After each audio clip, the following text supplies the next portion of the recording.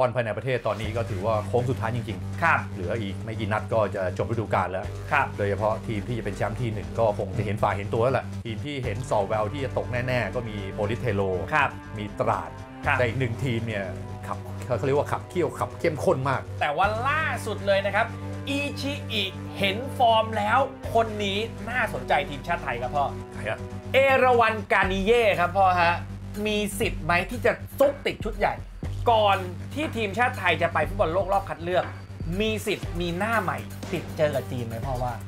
สวัสดีครับสวัสดีครับ ขอต้อนรับทุกท่านเข้าสู่แตงโมลงเปียพงษ์ยิ่ง วันนี้อยู่กับพ่อตุ๊กกับแตงโมเช่นเคยนะครับพ่อตุ๊กสวัสดีครับ สวัสดีครับสำหรับวันนี้ครับเรามาลุยกันเรื่องของฟุตบอลบ้านเรานะครับบอลไทยทีมชาติไทยทุกสิ่งทุกอย่างเลยนะครับ ต้องบอกว่าช่วงนี้เนี่ยเป็นช่วงที่ตัดสินนะครับพ่ออะถ้าบอลไทยก็ จะอยู่รอดหรือจะอยู่ไม่รอดนะครับ ส่วนทีมชาติไทยตอนนี้ก็เหลืออีกประมาณสักเดือนหนึ่งพ่อฮะจะถึงฟุตบอลโลกรอบคัดเลือก ก็แบ่งเป็นสองส่วนถ้าบอลภายในประเทศตอนนี้ก็ถือว่าโค้งสุดท้ายจริงครับๆเหลืออีกไม่กี่นัดก็จะจบฤดูกาลแล้วครับโดยเฉพาะทีมที่จะเป็นแชมป์ที่หนึ่งก็คงจะเห็นฝ่ายเห็นตัวแล้วแหละครับเพราะว่าคงเป็นบุรีรัมย์แบร์เบอร์อืมเปิดถ้วยแล้วเปิดถ้วยแล้ว เปิดถ้วยแล้ว แต่ทีมที่ตกชั้นยังไม่เปิดถ้วยครับ ทีมที่เห็นส่อแววที่จะตกแน่ ๆ ก็มีโปลิศ เทโรครับมีตราดครับ แต่อีกหนึ่งทีมเนี่ยขับเขาเรียกว่าขับเคี่ยวขับเข้มข้นมากอ่านะครับไม่ว่าจะเป็นชลบุรีซึ่งสถานการณ์ร่อแร่เหลือเกินครับภายใต้โค้ชเฮงนะครับแล้วก็มีสุโขทัยครับแล้วก็ยังมีประจวบที่แต่ก่อนดูร่อแร่แต่พอครัมา leg สองนี่พอโค้ชเตี้ยไปติดจรวดเลยครับคะแนนเป็นกอบเป็นกำเออนะครับก็ถือว่าเป็นการแข่งขันที่น่าสนใจน่าติดตาม คู่นี้ผมว่าอ่าสัปดาห์ต่อไปจะเจอกันเนี่ยครับเดี๋ยวคงได้รู้กันว่าใครหมูใครจ่าเพราะว่าตัดกันเองครับนะก็เดี๋ยวมาติดตามกันนะครับ แต่ว่าล่าสุดเลยนะครับ อิชิอิเห็นฟอร์มแล้วคนนี้น่าสนใจทีมชาติไทยครับพ่อ ใครอะ โอ้โหอยู่อุทัยพ่อ ไม่รู้สนใจจริงเปล่าครับแต่เห็นเห็นกล้องเนี่ยจับหน้าอิชิอิปุ๊บปุ๊บแผนนักเตะคนนั้นเลยพ่อฮะหรือว่ากล้องรู้ก็ไม่รู้นะฮะแต่อิชิอิยังไม่รู้นะพ่อเหรอแต่อิชิอิเขาไปดูเกมอุทัยใช่อุทัยนะมันแต่ไม่รู้ว่าสนใจใครนะผมีไรู้ลูกครึ่งหลายคนอะเดี๋ยวตรงนี้เดี๋ยวมาเล่าให้ฟังนะคครัรับบอะแต่ก่อนอื่นเลยวันนี้นะครับพ่อฮะช่วงนี้ร้อนมากครับร้อนแบบโอ้โหร้อนจริงๆนะฮะเราต้องติดแอร์นะครับสำหรับล่าสุดเลยเนี่ยนะครับแคเรียครับ แจกเงินติดแอร์ไม่ว่าแจกเงิน 1,000 บาทด้วยนะครับแคเรียใจป๋าช่วยจ่ายดับร้อนโปรโมชั่นสุดพิเศษจาก Air Carrier นะครับร่วมแคมเปญได้ง่ายๆเลยนะครับทุกท่านฮะเพียงซื้อ Air Carrier X Inverter Plus BTU ใดก็ได้ หรือว่า Air Carrier Copper 8 BTU ใดก็ได้เหมือนกันนะครับซื้อติดตั้งและลงทะเบียนภายในวันที่ 31 พฤษภาคม 2567 รับเงินมูลค่า 1,000 บาทไปเลยนะฮะติดต่อรายละเอียดได้นะครับก็ ที่ Facebook นะครับ Carrier Thailand หรือว่าแอดไลน์นะครับ @carrier promotion หรือจะเป็น www.carrierthailand.com ก็สามารถติดตามได้นั่นเองนะครับครับอะมาคุยกันถึงฟุตบอลบ้านเรากันหน่อยดีกว่านะพ่อ ก็คือต้องบอกเปิดด้วยทีมชาติแล้วกันนะพ่อฮะครับนักเตะที่อยู่ในข่ายทีมชาติฟอร์มดีมาก ตอนนี้ถ้าพูดถึงทีมชาติก็ต้องยอมรับว่าอยู่ในช่วงของมีทั้งหญิงและชายนะครับ นะครับเพราะว่าถ้าถ้าเป็นทีมชาติฟุตบอลหญิงเนี่ยจะมี 17 ปีตอนนี้คไปรับ ไปอินโดแล้วครับ จะไปตั๋วเป็นแชมป์โลกอืไปมเอ่อไปแชมป์โลก 17 ปี ครับ ไปคัดเลือกแต่อยู่สายแข็งหน่อย ครับอยู่ญี่ปุ่น อยู่จีนแล้วอยู่ออสเตรเลียครับ นะซึ่งค่อนข้างสาหัสเหมือนกันอืมนะฮะแล้วในเดือนมิถุนาก็จะมีทีม U17 ปีนะฮะอืม ของโครงการ FIFA Talent ID ทีมชาติเหมือนกัน ครับไปฟุตบอลอาเซียน ครับ แล้วก็จะมีฟุตบอลโลก มีฟุตบอลโลกรอบคัดเลือกด้วย แต่ก่อนที่ฟุตบอลโลกนั้นจะมีนักฟุตบอลหลากหลายที่จะโชว์ศักยภาพฝีเท้าให้ครับอิชิอิได้เห็น ต้องถามพ่ออย่างนี้พ่อฮะว่า ก่อนที่ทีมชาติไทยจะไปฟุตบอลโลกรอบคัดเลือก มีสิทธิ์มีหน้าใหม่ติดเจอกับจีนไหมพ่อว่า ก็มีโอกาสนะมีมีโอกาสนะเพียงแต่ว่าอีชีเขาจะมีผู้เล่นอยู่ในใจแล้วตอนนี้ มีแน่มีร้อยเปอร์เซ็นต์เลยว่าประมาณคนที่จะลงสนาม 11 คนบางทีมีครบหมดแล้วๆอืมแล้วก็จะเปลี่ยนเข้าเปลี่ยนออกน่าจะมีแล้วฉะนั้นอืมเวลาไปเนี่ยมันมันยี่สามถึงยี่หกคนนี่ผมว่า เขาคงน่าจะมีประมาณ 20 คนแล้วแหละอืมแต่ถ้าหน้าใหม่ ๆ จริง ๆ ที่จะโผล่เข้าไปเนี่ย ถามว่ามีโอกาสไหมมีแต่มันค่อนข้างยากเหมือนกันอืมเพราะว่าเขาต้องยึดความเชื่อมั่นของนักฟุตบอลเดิมๆด้วยเหตุผลเพราะว่าเกี่ยวกับเรื่องของแท็กติกครับแล้วคราวนี้ไปแพ้ไม่ได้อืมเสมอก็ฟ้าผ่าแล้วครับถ้าแพ้มานี่ตกกระไดเลยตายเลยอืมฉะนั้นนี่อิชิอิคงต้องมีความรอบคอบมากขึ้น ถามว่ามีหน้าใหม่ไหมก็เต็มที่ไม่น่าเกินคนนะ หนึ่งคนนะเพราะว่าที่เหลือจะน่าจะเป็นหน้าเดิมๆนะในในความคิดผมนะเพราะผมยังไม่รู้นะครับครับ และอย่างเงี้ยเวลาที่เขาไปเอ่อสเกลนักเตะในแต่ละทีมเนี่ยตอนเนี้ยคือเราก็จะเห็นแล้วเขาไปดูทีมที่แบบกลางล่างก็จะไปดูบ่อยด้วยพ่อก็คงไปดูเพื่อ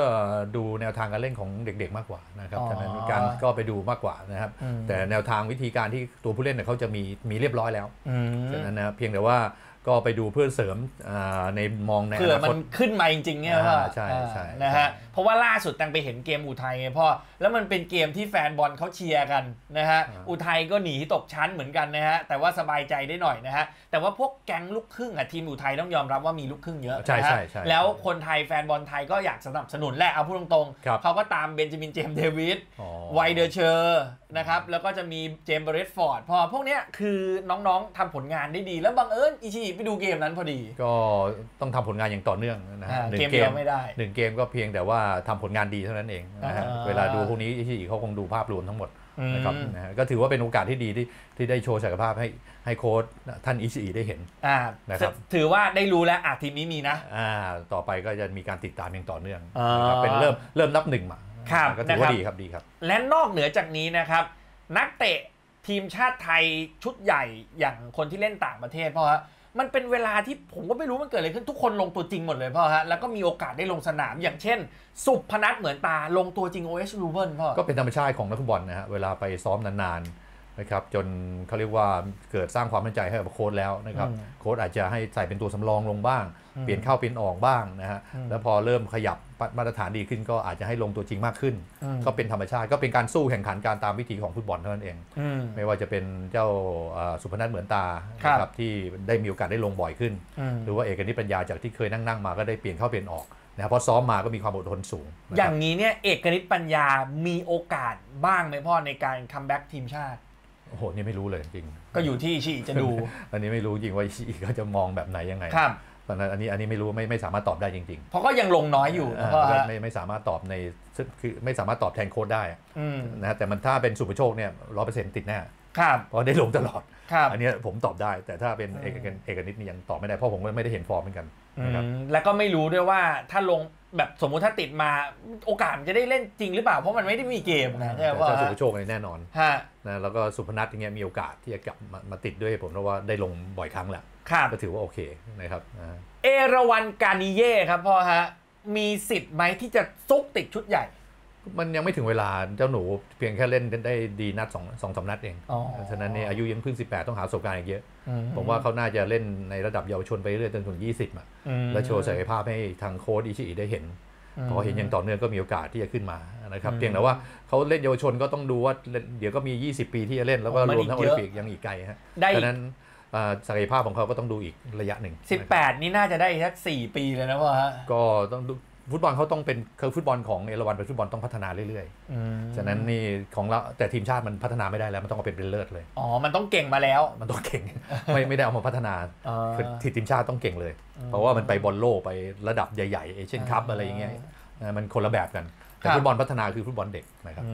มเข้าใจแล้วนะฮะแต่อย่างนี้เนี่ยมันมีข่าวอีกหนึ่งข่าวมา ผมก็พยายามไล่เช็คให้ทุกคนนะฮะมันคจะรับได้อัปเดตกันก่อนบอลโลกเนี่ยนะฮะนิโคลัสมิเคลสันเนี่ย ไม่รู้มันก็มีหลายคนที่พูดถึงนะพ่อว่าโอกาสเขาจะเปิดจริงๆเหรอพ่อในการไปเลสเตอร์ ไม่รู้อะอาจจะได้ย้ายหรือไม่ได้ย้ายแต่ว่ามันมีข่าวมาเฉยก็เป็นสิ่งที่มีข่าวก็ถือว่าเป็นสิ่งที่ดีครับแล้วก็ต้องมาติดตามกันว่ามีโอกาสขนาดไหน เราก็ได้เฝ้ามองแค่นั้นเองแล้วก็เป็นกำลังใจให้เขาก็อยู่ที่คุณท็อปนะฮะเลื่อนชั้นแล้วไม่รู้เขาจะก็อยู่ที่มีโค้ชอะโค้ชครับว่าจะมาทดสอบฝีให้ไปเรียกทดสอบฝีเท้าไหมอะไรผมก็ไม่อ่ามัมันอ่าต่างประเทศมันสามารถทดสอบฝีเท้าได้ เอ่อนะครับ test ก่อน test ต้องไปก่อน testก่อนใช่ถ้ารับโค้ชชอบก็ไม่แน่อยู่ที่โค้ชใช่ครับ ก็ต้องอยู่กันสองสามเดือนอะจนเห็นฝีเท้าครับว่ามันพัฒนาแบบไหนยังไงอืมเข้าสู่ทีมได้ไหม เพราะว่าไปเล่นพรีเมียร์ลีกนี่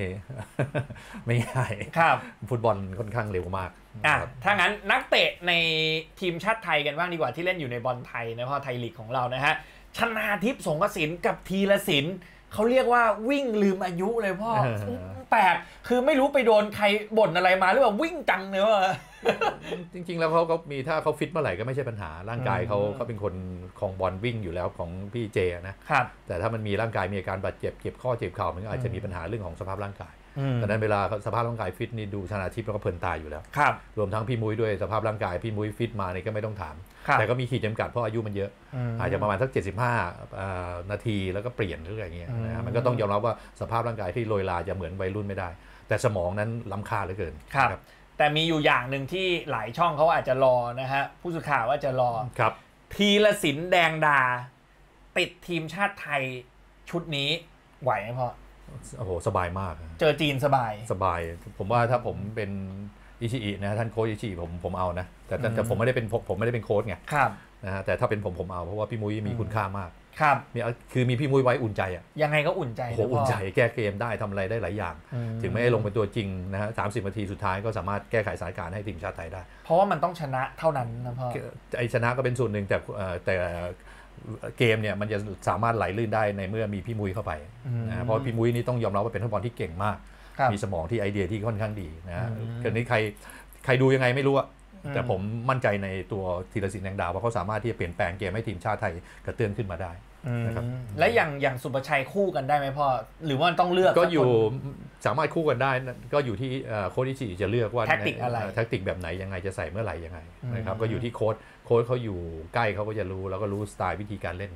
นะครับแต่ถามว่าคู่กันได้ไหมก็ไม่แปลกใจเพราะทุกวันนี้หลาย ๆ คนที่เห็นบอกคู่กันไม่ได้ก็สามารถคู่กันได้อืนะครับไม่ใช่ปัญหาอะไรเลยนะครับอืมนะฮะอะนี่คือภาพรวมนะครับของทีมชาติไทยที่ นักเตะที่เราคัดมาแล้วก็บอกว่าเอ้ยคนนี้ฟอร์มดีนะ แล้วก็ก็ดีเดี๋ยวต้องดีต้องรอดูมันอีกตั้ง 30กว่าวันดีนะพ่อหลากหลายคนนะดีครับดีในฟุตบอลไทยก็ดีเล่นคือในช่วงปลายฤดูกาลนี้มันอาจจะมีเรื่องของความกดดันหลาย ๆ คน แต่ก็ดีมาหลาย ๆ คนแม้กระทั่งทีมที่เล่นจะตกชั้นไป ก็มีนักบอลหลาย ๆ คนที่โชว์ศักยภาพครับเพียงแต่ว่าทีมมันไม่เอื้ออำนวยเท่านั้นเองอืมแต่โดยผู้โดยผู้เล่นส่วนตัวก็ถือว่าทำได้ดีหลายคนอืมนะครับนะครับอะถ้างั้นเดี๋ยวดูในไทยลีกกันหน่อยดีกว่านะครัฮะบเพราะว่า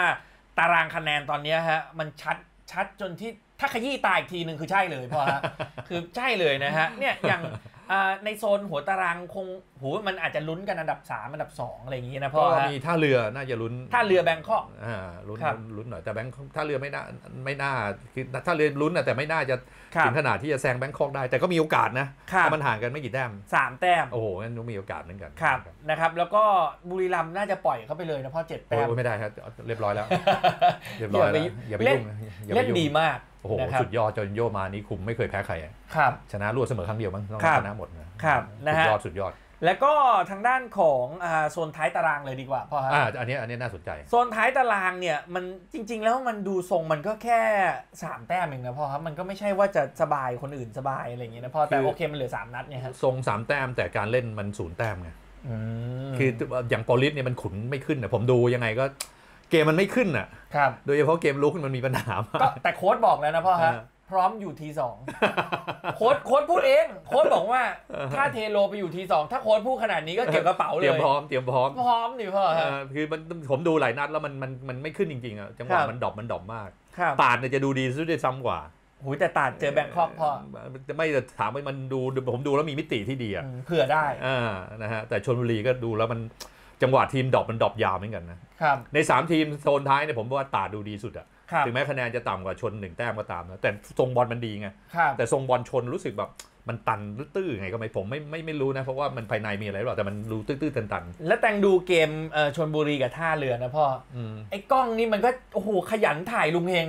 มันนักบอลไม่จับมันจับโค้ดเฮงอย่างเดียวเลยฮะ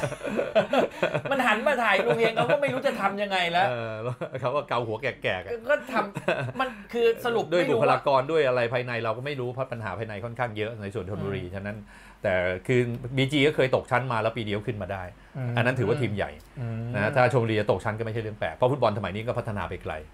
มันไม่ใช่ชื่อมาค้ำอย่างเดียว ใช่ใช่นะฮะแต่ทีมที่น่าสนใจคือสุโขทัยอย่างเงี้ยนะฮะก็ไม่แน่นะแต่พีทีประจวบก็อีกชนะอีกนัดหนึ่งก็น่ารอดแล้วล่ะครับนะสายสามแต้มก็น่าจะสบายสบาย ครับสุโขทัยก็น่าจะรอดเพราะว่าเจอโปลิสด้วยพ่อๆอ่าค่าโปรลิสจบเลยไงครับอเขาก็จะบลอย อาจจะจบอาจจะจบอาจจะจบเลยนะครับอืมนะฮะแต่ที่ไปตัดกันเนี่ยก็คือชนบุรีกับประจวบที่เจอกันเนี่ยอื้อหือได้รู้เรื่องพอถ้าชนบุรีแพ้ก็เก็บเข้าของกลับบ้านได้เลย โอ้โหนะครับนะฮะจะจะได้ครบ 3 ทีมเลยเพราะว่าเดี๋ยวมันจะตัดกันเองทั้งหมด อ่าใช่ใช่นะฮะแต่มันจะได้คงจะเห็นแล้วเห็นเนื้อเห็นหนังแล้วล่ะครับนะครับเพราะว่าถ้าห่าง 3 แต้มยังเกมหนึ่งยังพอลุ้นว่า head to head รู้ได้เสียแต่ถ้า 4 ปุ๊บ มัน 2 นัด เดี๋ยวเรามาวิเคราะห์กันด้วยเหตุผลเพราะว่าเดี๋ยวรอในกลางสัปดาห์ที่จะมีเอฟเอคัพเตะก่อนครับนะครับอ่าเดี๋ยวต้องรอตรงนี้ก่อนแล้วว่าใครเข้าชิงจะได้รู้ว่าอ่าจะเป็นยังไงจะใครชิงแล้วเนี่ยมันก็จะวิเคราะห์ในในส่วนอื่นได้ครับนะครับอะนี่ก็คือประมาณนี้นะของฟุตบอลอ่าไทยนะพ่อฮะครับแต่ว่า สุดท้ายแล้วโฟกัสเนี่ยผมว่ามันก็อาจจะอยู่สัปดาห์นี้นี่แหละนะฮะแต่ฟุตบอลไทยกำลังดีขึ้นเรื่อยๆนะฮะครัขอแจ้งข่าวได้เลยว่าตอนนี้ในเรื่องของท่านนายกสมาคม ท่านนวลพรรณ ล่ำซำก็ในเรื่องของอาการอบรมอ่าผู้ตัดสินครับ VAR นี่ก็ถือว่าตอนนี้ไปใช้ทีสองใช่ก็มีการอบรมเปิดเยอะนะฮะค่าโดยใช้จ่ายก็เยอะเหมือนกันนะพ่อก็คุณมาวินท่านท่านต้องยอมรับว่าท่านเสียสละจริงอ๋อคุณมาวินก็ support ตรงนี้ท่านดูทีสองอ๋อ แล้วก็ท่านต้องยอมรับว่าท่านให้แหมมันไม่รู้จะได้พูไม่งต้องเถียงกันซะเยอะเออท่านดูแลดีอะต้องยอมรับว่าปีหน้าสปอนเซอร์เซอร์เข้ามาดี ทีสองนี่ผมว่าศักยภาพก็ค่อยๆจะขยับขึ้นมา ตอนนี้ผู้ตัดสินก็กำลังพัฒนาอย่างมากเลยอืมนะฮะรวมทั้งการพัฒนาฟุตบอลไทยผมคิดว่าในอีกประมาณเดือน 2 เดือนนี้ก็คงจะมีทิศทางที่ดีขึ้น มันต้องหลังคองเกสอะพ่อฟีฟ่าคองเกตอนนี้นี่วันที่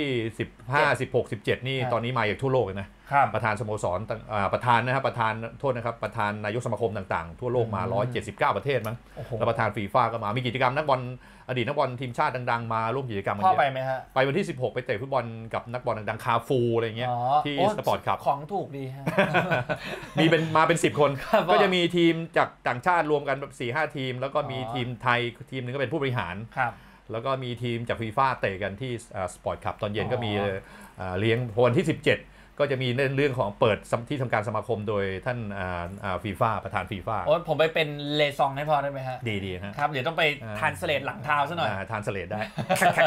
ก็จะมีกิจกรรมเยอะแต่วันที่ 15 นั้นที่ทำเนียบอ่าสันติอ่าตึกสันสันติไมตรีทำเนียบรัฐบาลก็จะมีท่านนายกเศรษฐาก็จะเลี้ยงครับต้อนรับอ่าประธานอ่าเขาเรียกว่าอ่านายกสมาคมทั้งหมดครับเลยครับรวมทั้งประธานฟีฟ่าด้วยครับนะครับนี่กิจกรรมที่เป็นหน้าเป็นตาของเมืองไทยนะ ครับครับอะยังไงก็ฝากติดตามกันด้วยแล้วกันนะครับ เพราะว่านี่คือสิ่งที่มันจะเกิดใหม่ ๆ นะฮะ มันจะเห็นคือมันไม่ใช่แค่บอลไทย พอรู้จักกับคนทั่วโลก มันจะเกิดอย่างอื่นด้วย ผมว่าในภายใต้ผมไม่ได้อวยหรือว่าพูด ผมขออนุญาตพูดเลยว่าพออืมได้สัมผัสแล้วผมเชื่อมั่นในศักยภาพของท่านนายก แล้วก็อืมสภากรรมการว่าจะพาลำดาวา 4 ปีเนี่ยหลังจากแก้ไขที่มันมีปัญหาประมาณ 6 เดือนที่แก้ไขไปแล้วนะผมว่าทิศทางน่าจะดีขึ้นมาก มันเห็นภาพเห็นเนื้อเห็นหนังอะครับนะครับผมว่าทิศทางดีนะฮะรอรอรอรอกันดูฮะครับนะครับอะยังไงฝากติดตามนะครับ แต่วันนี้ต้องติดแอร์นะครับครับ เพราะว่าCarrier แจก 1,000นะครับ Carrier ใจป้ำช่วยจ่ายดับร้อนโปรโมชั่นสุดพิเศษจากแอร์ Carrier นะครับร่วมแคมเปญได้ง่ายๆครับเพียงซื้อ Air Carrier X Inverter Plus BTU ใดก็ได้ หรือ Air Carrier Copper 8 BTU ใดก็ได้ ซื้อติดตั้งและลงทะเบียนภายในวันที่ 31 พฤษภาคมนะครับ รับเงินมูลค่า 1,000 บาทนะครับ ติดตามรายละเอียดได้เลยนะครับที่ www.carrierthailand.com หรือว่า Facebook Carrier Thailand นะครับ แอดไลน์ก็ได้นั่นเองครับสำหรับวันนี้ถ้าหากว่าชื่นชอบอย่าลืมกดไลค์กดแชร์กด Subscribe กดกระดิ่งแจ้งเตือนจะได้ไม่พลาดทุกความเคลื่อนไหวพ่อตุ๊กแตงโมลาไปก่อนสวัสดีครับ